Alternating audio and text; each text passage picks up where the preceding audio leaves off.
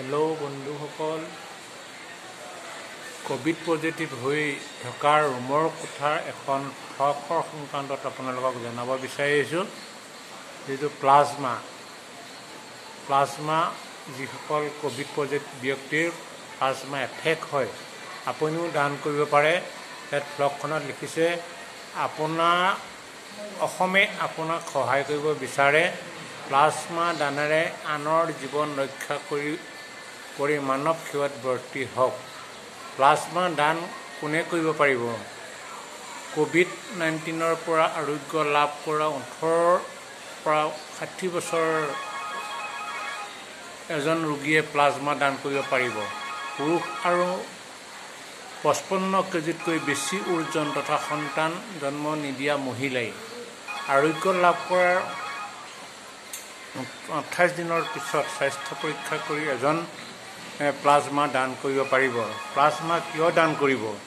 এজন ব্যক্তিয়ে চাৰিশ মিলি মিলিগ্ৰাম প্লাজমা দান কৰি দুজন ক'ভিড ৰোগীক আৰোগ্য লাভ কৰাৰ ক্ষেত্ৰত সহায় কৰিব পাৰিব। প্লাজমা দানৰ কোনো ক্ষতিকাৰক প্ৰভাৱ বা পাৰ্শ্বক্ৰিয়া নাই। এজন প্লাজমা নায়ক হওক আৰু ক'ভিড ঊনৈছৰ বিৰুদ্ধে যুঁজত সহায় কৰি জীৱন ৰক্ষা কৰক। পঞ্জীয়ন কৰিবলৈ এশ চাৰি নম্বৰ নাইবা ইমেইল কৰক। O' S D point N H M I point Assam Gmail dot com আমাৰ ৱেবছাইট হৈছে ডব্লিউ ডব্লিউ আছাম প্লেচ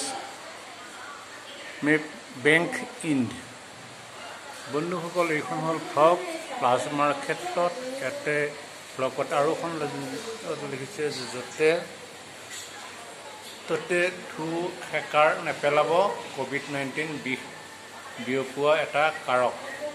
বন্ধুসকল এই ধৰণৰ ফ্লকে বিশেষকৈ ক'ভিড পজিটিভ ব্যক্তিসকলক উৎসাহ জনাই নহয় আনকো সহায় কৰাৰ ক্ষেত্ৰত বিশেষ সহায় কৰিব বুলি আমি আশা ৰাখিছোঁ। স্বাস্থ্য পৰৱৰ্তী পৰ্যায়ত ক'ভিড নাইণ্টিনৰ সংকটৰ পৰৱৰ্তী ভিডিঅ' ধন্যবাদ নমস্কাৰ।